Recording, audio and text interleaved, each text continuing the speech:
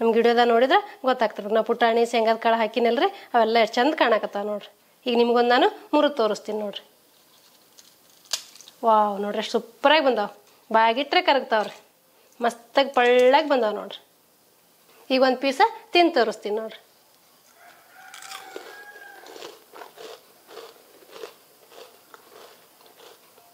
ಸೂಪರಾಗಿ ಬಂದವ್ರು. ಉತ್ತರ ಕರ್ನಾಟಕ ರೆಸಿಪಿ ನೋಡಾಕತ್ತಿರೋ ಎಲ್ಲ ವೀಕ್ಷಕರಿಗೂ, ನಿಮ್ಮ ಮನೆ ಮಗಳು ತ್ರಿವೇಣಿ ಪಾಟೀಲ್ ಮಾಡುವ ನಮಸ್ಕಾರಗಳು. ನಮ್ಮ ಸಬ್ಸ್ಕ್ರೈಬರ್ ಒಬ್ರು ಕೇಳಿದ್ರು ನಿಪ್ಪಟ್ಟು ಮಾಡಿ ಎಷ್ಟು ದಿನ ಸ್ಟೋರ್ ಮಾಡ್ಬೋದು ಅಂತ ಹೇಳಿ ಅದಕ್ಕೆ ನಾನು ಇವತ್ತು ನಿಪ್ಪಟ್ಟು ಮಾಡಿ ತೋರ್ಸಾಕತ್ತೀನಿ ರೀ. ಆ ನಿಪ್ಪಟ್ಟು ಹೆಂಗೆ ಮಾಡೋದಂತೆ ನೋಡ್ಕೊಂಬರೋಣ ಬರ್ರಿ. ಮೊದಲೇದಾಗಿ ಒಂದು ಪಾತ್ರೆ ತೊಗೊಂಡಿನಿ ಇದು ಸ್ಟವ್ ಮ್ಯಾಗ ಇಟ್ಕೊತೀನಿ. ನೀವೇನಾರ ನಮ್ಮ ಚಾನಲ್ಗೆ ಹೊಸಬ್ರಾಗಿದ್ರೆ ಅಂದ್ರೆ ಸಬ್ಸ್ಕ್ರೈಬ್ ಆಗ್ರಿ ಬೆಲ್ಲೈಕನ್ ಒತ್ತಿರಿ, ನಿಮ್ಗೆ ನೋಟಿಫಿಕೇಶನ್ ಬರ್ತೈತಿ. ನಾವು ಹಾಕೋ ವಿಡಿಯೋಗಳ ಫಸ್ಟ್ ನಿಮ್ಗೆ ಬರ್ತಾವೆ. ಎಲ್ಲರಿಗಿಂತ ಮೊದ್ಲಾಗ ನೀವು ನೋಡ್ಬೋದು ರೀ ನಾನು ಒಂದು ಅರ್ಧ ಕಪ್ ಶೇಂಗಾದ ಕಾಳು ತೊಗೊಂಡಿನಿ ರೀ, ಇವು ಹುರ್ಕೋತೀನಿ ರೀ.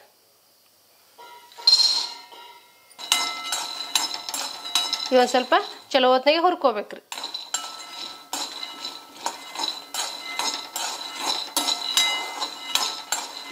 ಇವೊಂದು ಸ್ವಲ್ಪ ಚಲೋ ಹುರಿಬೇಕು ಸಿಪ್ಪೆಲ್ಲ ಬಿಚ್ಚುವಂಗೆ ಹುರ್ಕೋಬೇಕಾಗ್ತದ್ರಿ. ನಾನು ಇಪ್ಪತ್ತು ರೆಸಿಪಿ ಹೆಂಗೆ ಮಾಡ್ತೇನೆ ನಿಮ್ಗೆ ಗೊತ್ತಾಗ್ಬೇಕನ್ನೋದಾದ್ರೆ ನೀವು ಸ್ಕಿಪ್ ಮಾಡಲಾರ್ದೆ ಪೂರ್ತಿ ವಿಡಿಯೋ ನೋಡ್ರಿ, ನಿಮಗೆ ಗೊತ್ತಾಗ್ತೈತ್ರಿ. ಈಗ ನೋಡ್ರಿ, ಈ ಹುರಿದಾವು ನಾ ತಣ್ಣಗೆ ಹಾಕಿ ಬಿಡ್ತೀನಿ ರೀ ನಾ ಮಾಡೋ ರೆಸಿಪಿಗಳು ನಿಮ್ಗೆ ಏನಾರು ಯೂಸ್ ಅನಿಸ್ತಿತ್ತಂದ್ರೆ ಒಂದು ಲೈಕ್ ಮಾಡಿರಿ ಲೈಕ್ ಮಾಡೋದು ಮಾತ್ರ ಮರ್ಯಾಕೆ ಹೋಗ್ಬೇಡ್ರಿ. ನೋಡ್ರಿ ನಿಮ್ಗೆ ವಿಡಿಯೋದಾಗ ಕ್ಲೋಸಪ್ಪಲ್ಲಿ ಕಾಣ್ತಿರ್ಬೇಕು. ಇದ್ರ ಮೇಲೆ ಕಣ್ಣು ಬಿದ್ದಂಗೆ ಆಗ್ಯಾವ ನೋಡ್ರಿ. ಈಗ ಸಿಪ್ಪೆ ಎಲ್ಲ ಬಿಸ್ತಾವ್ರಿ. ತಣ್ಣಗಾದ್ಮೇಲೆ ಸಿಪ್ಪೆ ಬಿಚ್ಕೊಳ್ಳೋಣ ನಾನೀಗ ಶೇಂಗಾದ ಕಾಳು ಹುರಿದು ಶೇಂಗಾದ ಕಾಳು ತಣ್ಣಗೆ ಹಾಕ್ಬಿಟ್ಟಿನಿ ರೀ ಈಗ ಇದಕ್ಕೆ ಹಿಟ್ಟು ಹಾಕ್ಕೊಳ್ಳೋಣ ರೀ ನಾನು ಒಂದು ದೊಡ್ಡ ಪರಾತ್ ತೊಗೊಂಡಿನಿ. ಇದಕ್ಕೊಂದು ಅರ್ಧ ಕಪ್ಪ ಪುಟಾಣಿ ಹಿಟ್ಟು ಹಾಕೋತೀನಿ. ಅಂದ್ರೆ ಪುಟಾಣಿ ಅಂತ ಹುರ್ಗಡ್ಲೆ ಅಂತಾರಲ್ರಿ, ಅದ್ರ ಹಿಟ್ಟು ರೀ ಒಂದು ಅರ್ಧ ಕಪ್ ಹಾಕೋತೀನಿ ನೋಡ್ರಿ. ಅರ್ಧ ಕಪ್ ಪುಟಾಣಿ ಹಿಟ್ಟು ಹಾಕೊಂಡೇನ್ರಿ, ಇದೇ ಕಪ್ಪಿಲೆ ಮೂರು ಕಪ್ ಅಕ್ಕಿ ಹಿಟ್ಟು ಹಾಕೋತೀನಿ ನೋಡ್ರಿ. ಒಂದು ಕಪ್ಪು ಎರಡು ಕಪ್ಪು ಮೂರು ಕಪ್ ರೀ. ಮೂರು ಕಪ್ಪ ಅಕ್ಕಿ ಹಿಟ್ಟು ಹಾಕೊಂಡಿ ನಿಮ್ಮ ಮನ್ಯಾಗ ಯಾವ ಅಕ್ಕಿ ಹಿಟ್ಟು ಇರ್ತದೆ ಅದು ಹಾಕೋಬೋದು. ಅದೇ ಇದೆ ಅಂತೇನಿಲ್ಲ, ನೀವು ಅಂಗಡಿಯಿಂದ ತಂದಾದರೂ ಹಾಕೋಬೋದು, ಇಲ್ಲ ಮನೇಲೆ ಅಕ್ಕಿ ಬೀಸಿ ಆದರೂ ಮಾಡ್ಕೋಬೋದು. ನನಗೆ ಮನೇಲೆ ಅಕ್ಕಿ ಬೀಸಿದ್ದೈತೆ ಇದು ಸೊಸೈಟಿ ಅಕ್ಕಿ ರೀ ಬೀಸಿ ಇಟ್ಕೊಂಡಿದ್ದೆ ಅದನ್ನ ಹಾಕೊಂಡೇನಿ ರೀ ಈಗ ಇದಕ್ಕೆ ನಾನು ಅಚ್ಚ ಖಾರದ ಪುಡಿ ಹಾಕೋತೀನಿ ನೋಡಿ ನೀವು ಮೆಣಸಿನ್ಕಾಯಿ ಚಿಲ್ಲಿ ಫ್ಲೇಕ್ಸ್ ಥರ ಮೆಣಸಿನ್ಕಾಯಿ ಸ್ವಲ್ಪ ಅರ್ಧ ಮರ್ಧ ರುಬ್ಬಿ ಹಾಕೋಬೋದು, ಇಲ್ಲಾಂದ್ರೆ ಅಚ್ಚ ಖಾರದ ಪುಡಿ ಆದ್ರೆ ಹಾಕೋಬೋದು ನಾನೀಗ ಅಚ್ಚ ಖಾರದ ಪುಡಿ ಹಾಕೋತೀನಿ ಅಚ್ಚ ಖಾರದ ಪುಡಿ ತೊಗೊಂಡಿನಿ, ಸ್ವಲ್ಪ ಜೀರಿಗೆ ತೊಗೊಂಡಿನಿ, ಸ್ವಲ್ಪ ಅಜ್ವೇನ್ ತೊಗೊಂಡಿನಿ, ಸ್ವಲ್ಪ ಕೊತ್ತಂಬರಿ ಸಣ್ಣ ಕಟ್ ಮಾಡ್ಕೊಂಡಿನಿ, ಸ್ವಲ್ಪ ಕರಿಬೇವು ಸಣ್ಣ ಕಟ್ ಮಾಡ್ಕೊಂಡಿನಿ, ಸ್ವಲ್ಪ ಅರ್ಶಿನ ಪುಡಿ ತೊಗೊಂಡಿನಿ, ಇದೆಲ್ಲ ಹಾಕೋತೀನಿ ನೋಡ್ರಿ. ಎರಡು ಟೇಬಲ್ ಸ್ಪೂನಷ್ಟು ಒಣ ಕೊಬ್ಬರಿ ತುರಿ ತೊಗೊಂಡಿನಿ ನೋಡ್ರಿ. ನೀವು ಮಿಕ್ಸಿಗೆ ಆದರೂ ಹಾಕೋಬೋದು ಹಿಂಗೆ ತುರ್ಕೊಂಡಾದರೂ ಹಾಕೋಬೋದು ರೀ ಈಗ ಇದಕ್ಕೆ ರುಚಿಗೆ ತಕ್ಕಷ್ಟು ಉಪ್ಪು ಹಾಕೋತೀನಿ ನೋಡ್ರಿ. ಇದು ಹಿಂಗೆ ಇಲ್ರಿ ನಾವು ಶೇಂಗಾದ ಕಾಳು ತಣ್ಣಗೆ ಹಾಕ್ಬಿಟ್ಟಿದ್ವಲ್ಲ ಅದನ್ನ ಸ್ವಲ್ಪ ಸಿಪ್ಪೆ ತೆಗೆದು ತರಿ ತರಿಯಾಗಿ ರುಬ್ಕೊಂಬಂದು ಹಾಕೊಳ್ಳೋಣ್ರಿ ಈಗ ನೋಡ್ರಿ, ಈ ಶೇಂಗಾದ ಕಾಳದೆಲ್ಲ ಸಿಪ್ಪೆ ತಕ್ಕೋತೀನಿ ನೋಡ್ರಿ. ಚಲೋ ಹೊತ್ನಾಗ ಹುರ್ಕೊಂಡು ತಣ್ಣಗೆ ಹಾಕ್ಬಿಟ್ರೆ ಸಿಪ್ಪೆ ತಾನಾಗೆ ಬಿಸ್ತಾವ ನೋಡ್ರಿ. ಈಗ ಇದು ಕೇರಿದ್ರೆ ಸಿಪ್ಪೆ ಎಲ್ಲ ಕಡೆಕಾಗುತ್ತೆ ನಾನೀಗ ಕೇರ್ತೀನಿ ನೋಡ್ರಿ.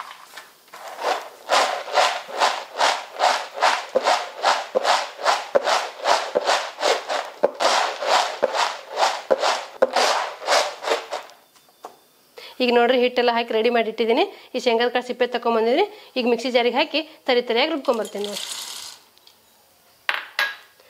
ಒಂದು ಸ್ವಲ್ಪ ಶೇಂಗಾದ ಕಾಳು ಹಾಕ್ಕೊಂಡೇನಿ, ಸ್ವಲ್ಪ ಪುಟಾಣಿ ಹಾಕೋತೀನಿ. ನಾವು ಪುಟಾಣಿ ಹಿಟ್ಟು ಹಾಕಿರ್ತೀವಿ ಇವು ಪುಟಾಣಿ ಸ್ವಲ್ಪ ಬಾಯಿಗೆ ಸಿಗಲಿ ಅಂತ ನಾನು ಒಂದು ಸ್ವಲ್ಪ ಹಾಕ್ಕೊಂಡೇನಿ. ನೀವು ಬೇಕಂದ್ರೆ ಹಾಕೋಬೋದು ಬೇಡ ಅಂದ್ರೆ ಸ್ಕಿಪ್ ಮಾಡ್ಬೋದು ರೀ ಇದು ನಾನು ಸ್ವಲ್ಪ ತರಿ ತರಿಯಾಗಿ ರುಬ್ಕೊಂಬರ್ತೀನಿ ರೀ. ಪೂರ್ತಿ ನುಣ್ಣಗೆ ರುಬ್ಬೇಡ್ರಿ ಸ್ವಲ್ಪ ಯಾವಂದ್ರಲ್ಲಿ ಎರಡು ಪೀಸ್ ಆದ್ರೆ ಸಾಕ್ರಿ. ನೋಡ್ರಿ, ಈ ರೀತಿ ತರಿ ತರಿಯಾಗಿ ರುಬ್ಕೋಬೇಕ್ರಿ. ಈಗ ನೋಡ್ರಿ, ನಾ ಶೇಂಗಾದ ಕಾಳ ಪುಟಾಣಿ ರುಬ್ಕೊಂಬಂದಿನ ತರಿ ತರಿಯಾಗಿ.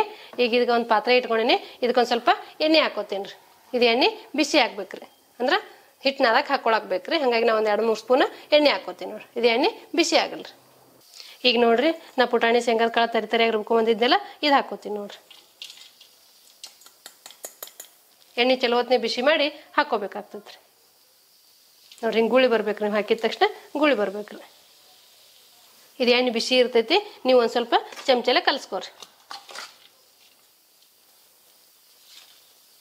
ಈಗ ದಸರಾ ಹಬ್ಬಕ್ಕೆ ಮಕ್ಳಿಗೆ ಸ್ಕೂಲ್ಗಳೆಲ್ಲ ರಜಾ ಕೊಟ್ಟಾರ್ರಿ. ಸಾಯಂಕಾಲ ಏನಾರು ತಿನ್ನಕ್ಕೆ ಬೇಕಪ್ಪ ಅಂತ ಕೇಳಿದಾಗ ನೀವು ಈ ರೀತಿ ಮಾಡಿಟ್ರೆ ಮಕ್ಳಿಗೆ ಕೊಡ್ಬೋದ್ರಿ. ನೀವು ಟೀ ಟೈಮ್ ಸ್ನ್ಯಾಕ್ಸಿಗೂ ಕೊಡ್ಬೋದ್ರಿ, ಇಲ್ಲ ಬೆಳಗ್ಗೆ ತಿಂಡಿಗೂ ಕೊಡ್ಬೋದ್ರಿ. ಈಗ ನೋಡ್ರಿ, ನಾ ಎಲ್ಲ ಚಲೋ ಹೊತ್ತಿನ ಸ್ಪೂನ್ಲೆ ಕಲಿಸಿದ್ದೀನಿ ಈಗ ಕೈಲೇ ಮಿಕ್ಸ್ ಮಾಡ್ಕೋತೀನಿ ನೋಡ್ರಿ. ಎಲ್ಲ ಖಾರ, ಉಪ್ಪು ಎಲ್ಲ ಹಿಟ್ಟಿನ ಜೊತೆಗೆ ಮಿಕ್ಸ್ ಆಗ್ಬೇಕು ಮೊದಲೆಲ್ಲ ಚಲೋ ಕೈಯಲ್ಲೇ ಕೈಲೇ ಕಲಿಸ್ಕೊಂಡು ನಂತರ ನೀರು ಹಾಕೊಳ್ರಿ. ಮೊದಲೇ ನೀರು ಹಾಕೊಳಕ್ಕೆ ಹೋಗ್ಬೇಡ್ರಿ. ನೀವು ಬಿಸಿನೀರು ಹಾಕೊಂಡಾದ್ರೂ ನಾದ್ಕೋಬೋದು, ತಣ್ಣೀರು ಹಾಕೊಂಡಾದ್ರೂ ನಾದ್ಕೋಬೋದು. ಯಾವ ನೀರು ಹಾಕಿ ನಾದಿದ್ರು ನಡಿತೈತಿ. ನೀವು ಕೇಳ್ತಾ ಇರ್ತೀರಿ, ಬಿಸಿನೀರು ಹಾಕೋಬೇಕಾ, ತಣ್ಣೀರು ಹಾಕೋಬೇಕಂತೇಳಿ ನಾನೀಗ ತಣ್ಣೀರೇ ಹಾಕೊಂಡೆ ನೋಡ್ರಿ. ನೋಡ್ಕೊಂಡು ಸ್ವಲ್ಪ ಹಾಕೊಂಡು ನಾದ್ಕೋಬೇಕಾಗ್ತದೆ ಪೂರ್ತಿ ಅಷ್ಟು ಗಟ್ಟಿನೂ ಇರಬಾರ್ದು, ಪೂರ್ತಿ ಅಷ್ಟು ಮೆತ್ತಗೂ ಇರಬಾರ್ದು. ನಾವು ಚಕ್ಲಿ ಮಾಡ್ಬೇಕಾದ್ರೆ ನೀರು ಬಿಸಿ ಮಾಡಿ ಹಾಕೋತೀವಿ ಯಾಕಂದ್ರೆ ಅದು ಕಟ್ಟಾಗೋ ಸಾಧ್ಯತೆ ಇರ್ತೈತಿ. ಹಾಗಾಗಿ ಬಿಸಿನೀರಲ್ಲಿ ನಾದ್ಕೋತೀವಿ. ಇದಕ್ಕೆ ಬಿಸಿನೀರಾದ್ರೂ ನಡಿತೈತಿ, ತಣ್ಣೀರಾದ್ರೂ ನಡಿತೈತಿ. ನಾ ತಣ್ಣೀರಲ್ಲೇ ನಾದ್ಕೊಂಡೇನಿ. ನಿಮ್ಗೆ ಯಾವ್ದು ಅನುಕೂಲ ಆಗುತ್ತೆ ನೋಡ್ಕೊಂಡು ನೀವು ನಾದ್ಕೋಬೇಕಾಗ್ತೈತಿ ನೋಡ್ರಿ, ಹದ ಇರಬೇಕು ಇದೇನು ಹಿಟ್ಟು ನೆನಿಬೇಕತ್ತೇನಿಲ್ಲ, ನಿಮ್ಗೆ ಯಾವ ಸೈಜಲ್ಲಿ ನಿಪ್ಪಟ್ಬೇಕು ನೋಡ್ಕೊಂಡು ಆ ಸೈಜಲ್ಲಿ ಉಳ್ಳಿ ಮಾಡ್ಕೊಡ್ರಿ ಈಗ ನೋಡ್ರಿ, ನಾ ಹಿಟ್ಟು ಕಲಿಸ್ಕೊಂಡಿನಿ ಈ ಹದ ಇರ್ಬೇಕು ಹಿಟ್ಟಿನ. ಪೂರ್ತಿ ಅಷ್ಟು ಗಟ್ಟಿನೂ ಇಲ್ಲ, ಪೂರ್ತಿ ಅಷ್ಟು ಮೆತ್ತಗೂ ಇಲ್ಲ.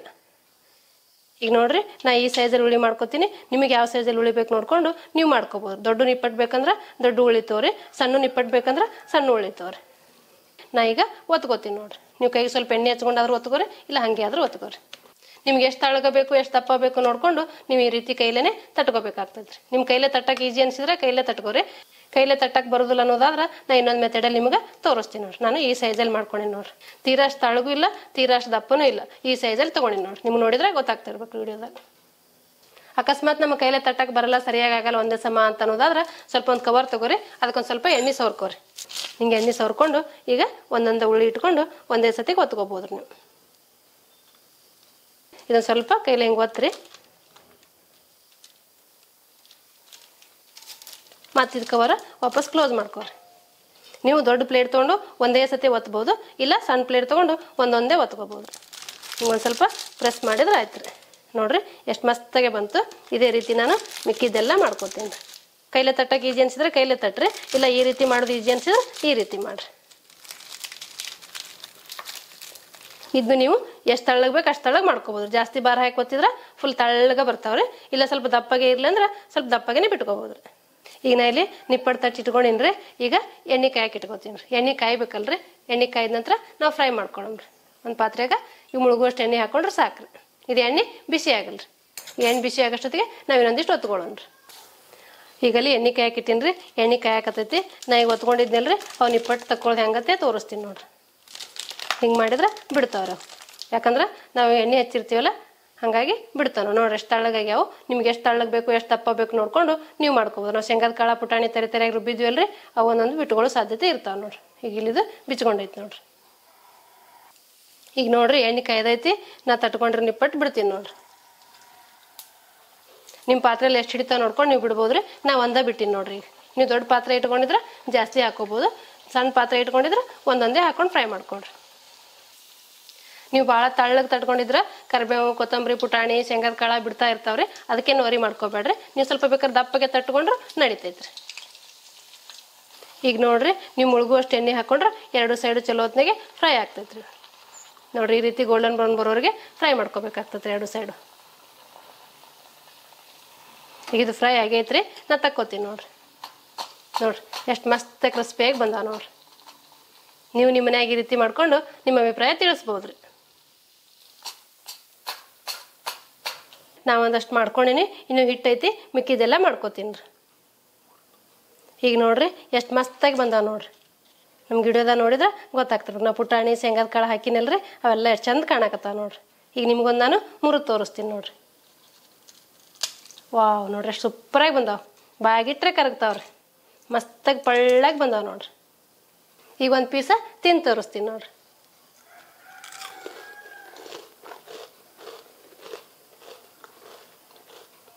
ಸೂಪರಾಗಿ ಬಂದವ್ರು. ತಿಂತಾ ಇದ್ರ ತಿಂತಾನೇ ಇರ್ಬೇಕು ಅನ್ಸುತ್ತೆ ಈ ರೀತಿ ನೀವು ಮಕ್ಳಿಗೆ ಮಾಡಿಕೊಡ್ರಿ, ಮಕ್ಳು ಇಷ್ಟಪಟ್ಟು ತಿಂತಾರೆ ನೋಡಿದ್ರಲ್ರಿ ವೀಕ್ಷಕರೇ, ಬೇಗ ಮತ್ತು ಸುಲಭವಾಗಿ ನಿಪ್ಪಟ್ಟು ಮಾಡೋದನ್ನ.